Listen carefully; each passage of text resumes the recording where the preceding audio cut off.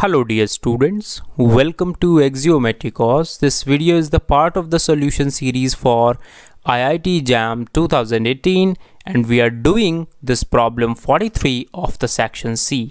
So this problem is from uh, you can say analysis but we are not going to use much analysis here. We will do it by general things. Alright, have a look. Uh, let fx is given by this for x in between 0 to 2, then the value of f of pi by 4 is. So this problem is asking us the value of f of pi by 4. It means that we have to write this thing in some simpler form. Are you getting my point?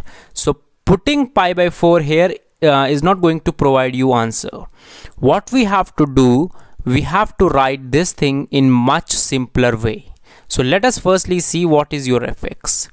So the fx that you are given with is this n is equal to 0 to infinity uh, infinity minus 1 to the power n x x minus 1 to the power n.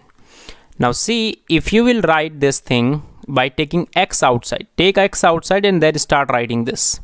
So first term will be x minus 1 to the power 0 and we have minus 1 to the power 0 so it will be positive. Second term will be this third term will be this uh, and fourth term will be x minus 1 to the power whole cube. And it is going so on like this. Now try to see uh, your x is in between 0 to 2 so because x is not touching 2 x is strictly less than 2 what is the meaning of this? It means that x minus 1 will be strictly less than 1 now, what do you know about infinite geometric progressions? So if you have a geometric series like this, 1 plus r plus r square plus r cube and so on.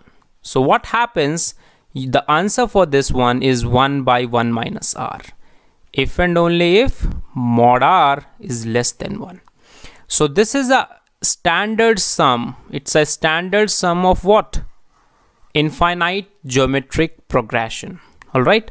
So if you have infinite geometric series we can find out its sum like this. So we have this thing written to us. So what is your r? Firstly specify that. So your r is minus x minus 1 why?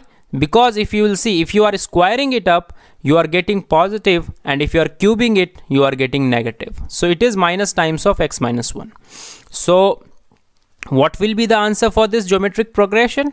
It will be 1 by see this first term is 1 alright because you are powering it up with 0 1 by 1 minus r so you will get 1 by x minus 1 plus x minus 1 so it will be x by x so this is 1 so uh, everything is fine?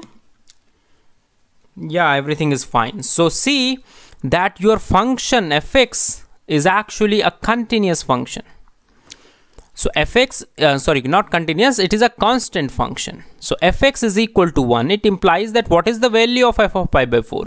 Because see, it is a continuous function, so it will be 1. So this is how you should be actually solving this problem. If you have any doubt, you can always ask in the comment section. If you have any other doubt, you can join our WhatsApp and Telegram groups. Links are given in the description part of the video. Alright, so thank you.